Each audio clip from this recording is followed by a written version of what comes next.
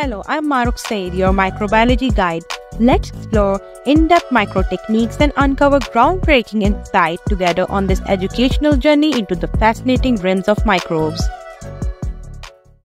Hello, everyone.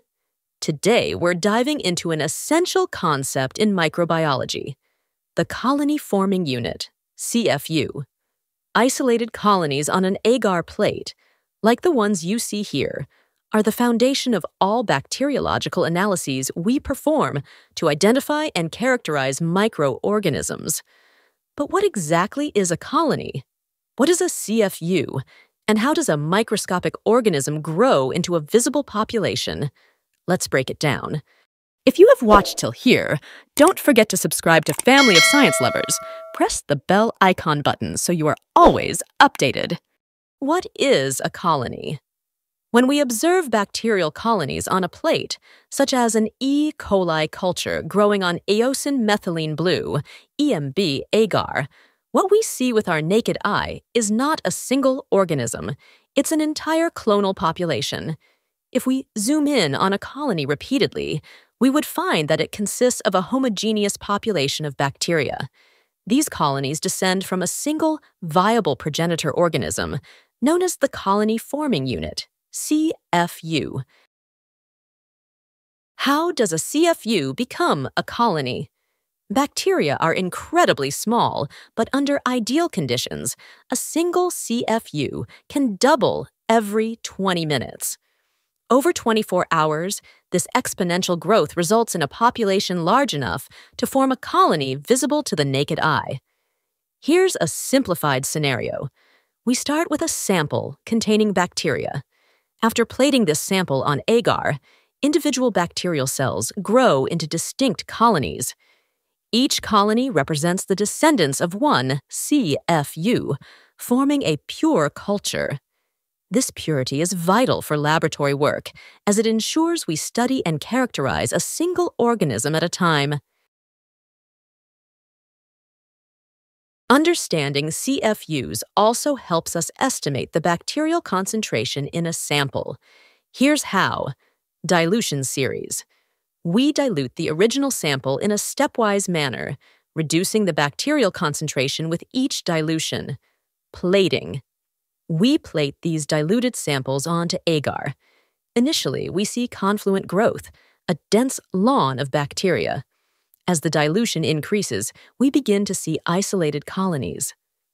Counting colonies. At a specific dilution, we count the colonies. For example, at a 1 in 10 to the minus 6 dilution, we might count 14 colonies. Why is this important? CFUs are a cornerstone of bacteriology. They allow us to quantify and isolate pure cultures for detailed study. Whether you're working in research, diagnostics, or food safety, CFUs help ensure accuracy and reliability in microbial analysis. Advantages of CFU provides an estimate of viable microorganisms, allows identification based on colony morphology, quantitative and reproducible when standard protocols are followed. Limitations of CFU time consuming 24 to 48 hours or more for incubation only cultivable organisms are detected. Misrepresentation due to clustering of cells. One cluster equals one CFU. If you haven't watched my previous video on how to do serial dilution and the spread plate method, I recommend checking it out first. That procedure lays the foundation for this step. Today, we'll analyze colony morphology and calculate colony forming units. For this procedure, we'll need the following a notebook and pen, semi-permanent marker, resulting plates from dilution factor. Here, I have 10 to the power of negative 3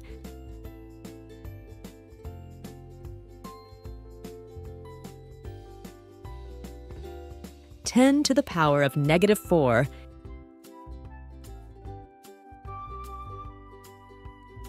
and 10 to the power of negative 5 an automated colony counter, if available. Let's start by understanding colony forming units, CFU. There are two ways to count colonies using an automated colony counter. This is quick and precise. Or manual counting, the method most labs use due to limited resources. We'll demonstrate manual counting today. On the notebook, write the heading colony forming unit calculations at the top. Then, write today's date. This helps keep track of when the experiment was performed. Next, note down the dilution factors 10 to the power of negative 3, 10 to the power of negative 4, and 10 to the power of negative 5. This ensures everything is clear and organized before starting the calculations. To start with manual counting, we'll take the 10 to the power of negative 5 plate and divide it into four quadrants using a ruler. Label each quadrant as 1, 2, 3, and 4. This method ensures that no colony is missed during the count. Now, count all colonies in each quadrant, including small and minute ones. Write the numbers in your notebook or directly on the plate. Quadrant 1 21 colonies. Quadrant 2, 28 colonies. Quadrant 3, 16 colonies.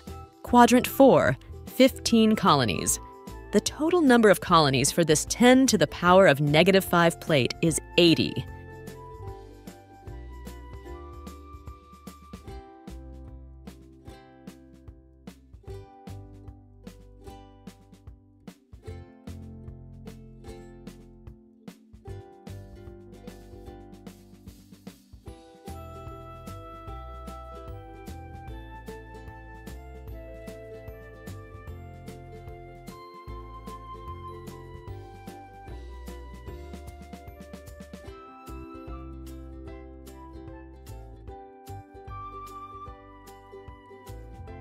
Repeat this process for the other plates.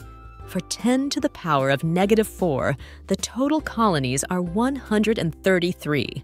For 10 to the power of negative 3, the total colonies are 168.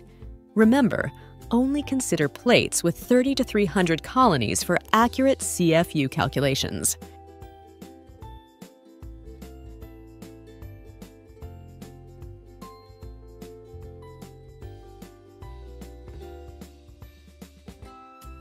Now let's calculate colony forming units, CFU, using this formula.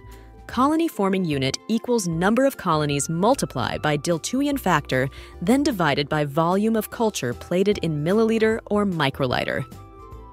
For the 10 to the power of negative 5 plate, colony forming unit equals 80 multiplied by 10 to the power of negative 5, then divided by 0.03 milliliters or 30 microliter. Answer is 266,666,667 CFU-mL. For the 10 to the power of negative 4 plate, colony forming unit equals 133 multiplied by 10 to the power of negative 4, then divided by 0.03 milliliters or 30 microliter. Answer is 44,333,333 CFU ml. For the 10 to the power of negative 3 plate, colony forming unit equals 168 multiplied by 10 to the power of negative 3, then divided by 0.03 milliliters or 30 microliter. Answer is 5,600,000 CFU ml. Thank you so much for watching. Don't forget to subscribe to my channel, press the bell icon button. Thank you!